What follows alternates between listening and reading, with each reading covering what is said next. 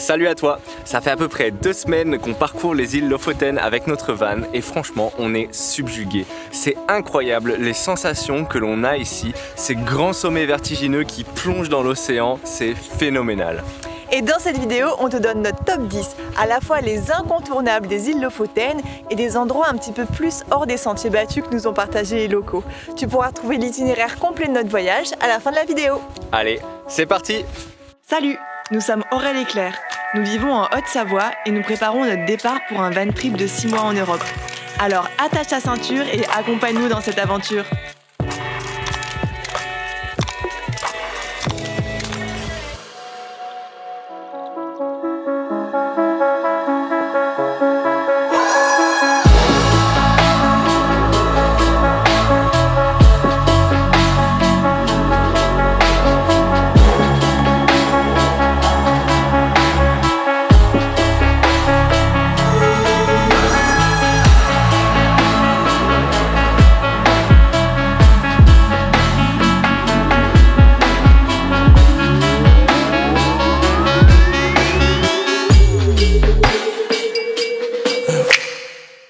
Première chose à faire quand tu arrives au Lofoten depuis Bodo, c'est aller checker le petit village de Or. Ça s'écrit avec un A et un petit rond sur le dessus. C'est sur l'île de Moskenesoya.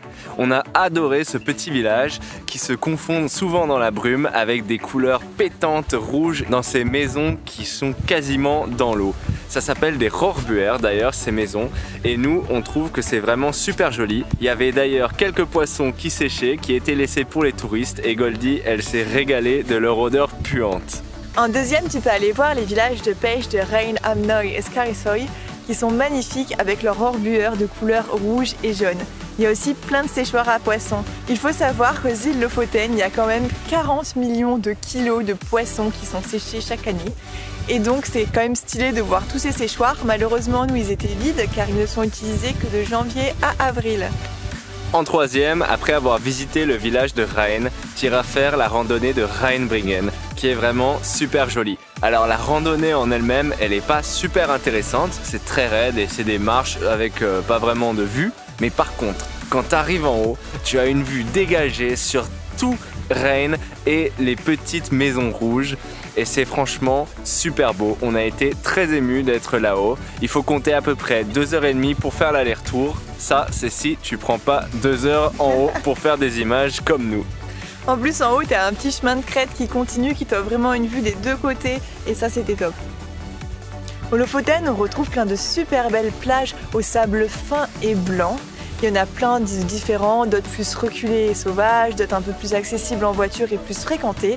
Tu pourras les retrouver dans l'itinéraire qui est dans la description. En quatrième, on te recommande d'aller faire un petit coup de surf. Même si tu es nul comme nous, eh ben, tu peux quand même te régaler. Il y a deux plages principales. Il y a le Lofoten Beach Camp et puis il y a aussi la plus célèbre, celle d'Unsta que tu as très certainement vue sur Instagram. Elle est superbe et les vagues y sont franchement sympathiques. Elles étaient peut-être un petit peu trop grandes pour notre niveau à nous, mais en tout cas, on s'est quand même régalé. La vue était phénoménale et puis on y a rencontré Clémentine avec qui on a fait quelques petites randonnées.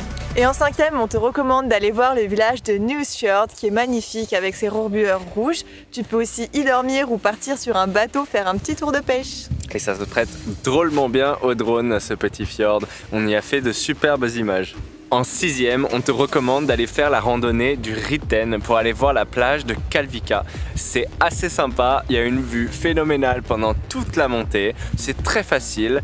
C'est assez touristique, mais je te recommande d'y aller le matin parce que c'est vers midi que les plages sont le mieux ensoleillées. Si tu y vas trop tôt ou trop tard, tu les trouveras dans l'ombre et c'est quand même dommage pour les photos. En septième, on te recommande de monter au sommet de la Skreda. Tu auras une vue à 360 sur tout le panorama autour de toi. Cette montée, elle est assez courte et vraiment, elle en vaut la peine. En huitième, on te recommande d'aller faire un tour sur un bateau de pêche. C'est typique des îles Lofoten. Ils t'embarquent, ils te prêtent tout le matériel, une grosse tenue bien chaude. Nous, on l'a fait au départ de Svolsver. Et franchement, pour être des débutants qui n'avons jamais fait ça de notre vie, on a trouvé ça plutôt sympa. En neuvième, on te recommande d'aller à Enixver, qui est aussi appelé la Venise des Lofoten. C'est un centre de pêche important et c'est aussi très connu pour son stade de soccer qui est au bout du monde. Alors finalement, en dixième, on te recommande d'aller voir les aurores boréales ou encore le soleil de minuit. C'est un phénomène unique au cercle polaire et franchement, ça vaut vraiment le détour. Pour nous, les îles Lofoten, ça a été notre partie préférée de tout le périple. C'est vraiment magnifique, c'est des panoramas à couper le souffle. Tout est plus ou moins prêt, on n'a pas eu beaucoup besoin de conduire pour aller aux différents spots. La météo est un petit peu capricieuse, mais on a été très chanceux d'avoir quand même quelques journées de beau temps qui nous ont rempli le cœur. On s'est régalé. Et tu pourras trouver l'itinéraire complet de notre voyage dans la description sur le lien Google Maps. On se dirige maintenant vers les îles Vestar-Hélène qui sont paraît-il moins touristiques et tout aussi belles. Allez, on se dit à la semaine prochaine. À la semaine prochaine. Salut.